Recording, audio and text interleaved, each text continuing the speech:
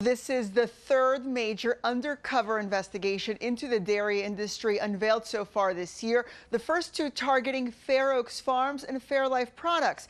This particular farm is based in Texas, but the company is already planning to open a second organic dairy in Newton County, Indiana, just about 70 miles south of Chicago.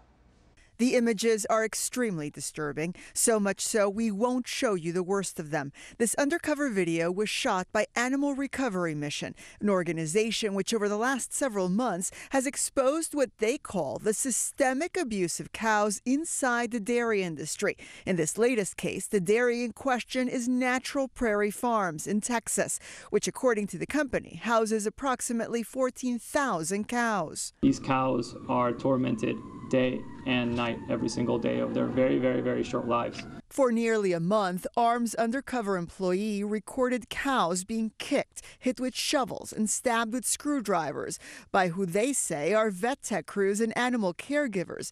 Cows inhumanely tied, left in uncomfortable positions for hours, falling into cesspools, almost drowning. Contrast that with Natural Prairie Dairy's promotional video.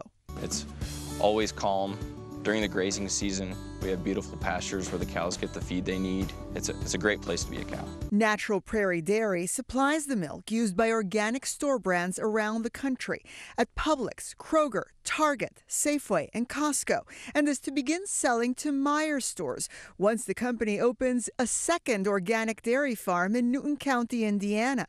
Activists say the only way to stop abuse in the dairy industry is for consumers to convert to plant based milks. Calcium in green leafy vegetables is more absorbable than it is from cow's milk. So there's lots of things out there that have brainwashed us from the dairy industry for years.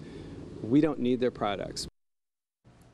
According to Animal Recovery Mission, the dairy has surveillance cameras installed all over the farm, making it nearly impossible for management not to be aware of what is happening. ARM has submitted its evidence to the local authorities in Texas for investigation. Now, we reached out to Natural Prairie Dairy for a response, but so far yeah. we have not received and, and make no mistake, the video we didn't show was pretty tough to watch. it, it is extremely graphic, and there's a reason we didn't mm -hmm. show it, but we can assure folks that what we say is on the video is in, is in fact on the video.